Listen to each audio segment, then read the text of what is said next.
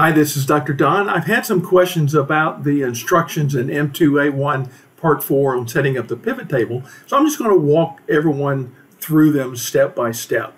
First thing we want to do when you open up your, your file is to go to the Dealer Satisfaction tab. I'm going to click that until it's selected.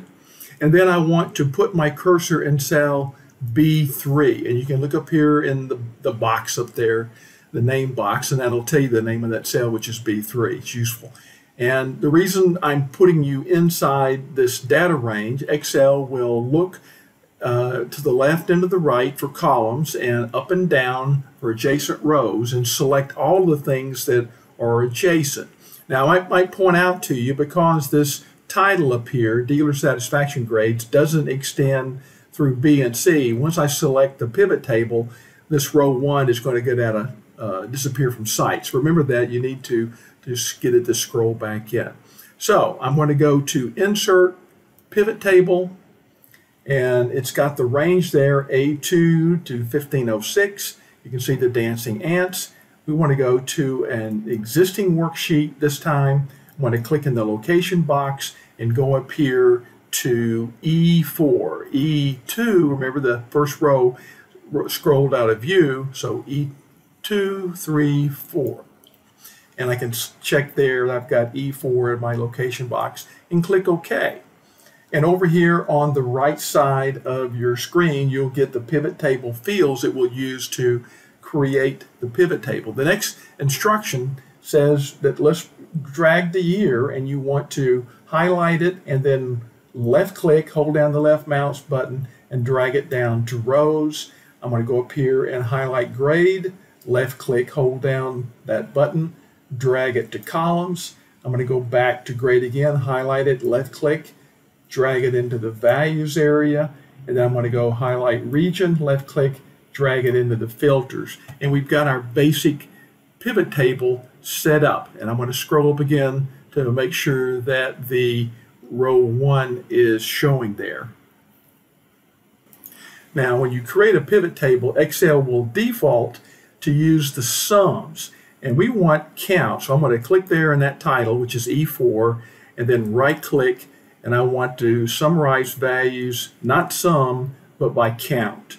So that reformats the data to show the counts. Okay, now I want to copy this pivot table a number of times, and I'm going to go up here and go to cell D1 and drag down to select everything through L11. And that makes sure uh, when I start copying, I've got some space above and to the left, and you'll see why that's useful. So I've got it selected, then I right click, copy, and then I want to go down to cell D14. Here's D, 12, 13, 14. can look across. Yes, I've got D14 and then right click and then paste. And that gives me a copy of the pivot table with some space again between to help things out. Now I want to change this count of grade. I want to click in that cell, which is E17, and then right click. And I want to show values as percent of row total. And it'll reformat. And now I've got the basic pair of uh, pivot tables for all the FAST regions. Now we're going to go back here to the cell D1 again. And I'm going to drag down to select everything through L24, D1 through L24, and now I'm going to right click and copy it, and I will go here to cell M1, right click, and then paste, and that gives me a copy of the two tables. Now I've set it up and it works out that you can just go to the next cell over here. This one would be V1, right click, paste, and I get two more, and I'm to just keep scrolling over here.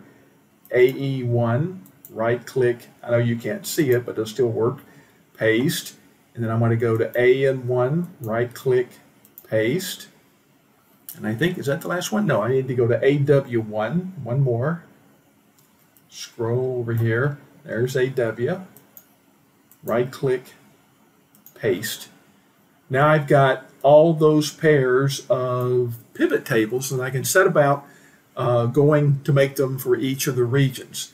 And I'm going to select here in the first one, I'm going to go to Americas, change that to Americas.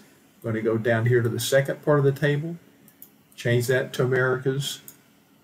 And then we go over here and do that for each of the other regions. Click there this time. I'll go to Asia and then click and go to Asia and so on. So you've got all those pairs set up. Now this is uh, one way of doing this.